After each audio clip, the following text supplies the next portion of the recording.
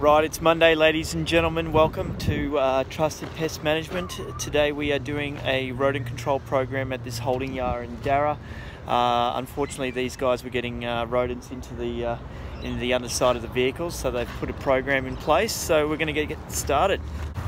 So this is one of our stations. I'm just going to open this, and look at that, no bait whatsoever. We do have a lot of foliage over there in the freeway so that'd be actually help well that'd be sort of causing our issue but we're going to top that up.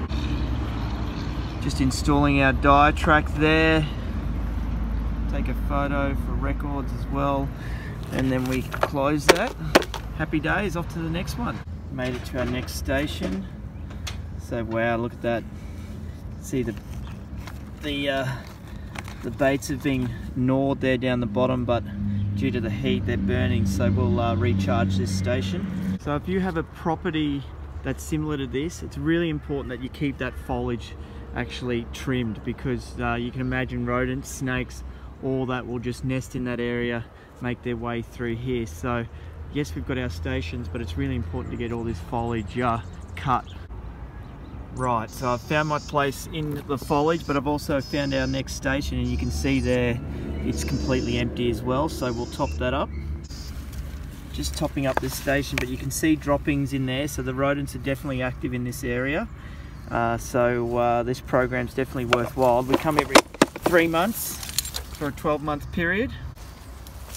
Yep. Look at how thick this all is. Yeah. Oh. Yep, we've made it. Oh.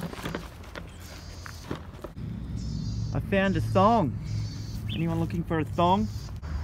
At the rear of the property, this is our, look at that, no bait. Recharge. Photo for our records.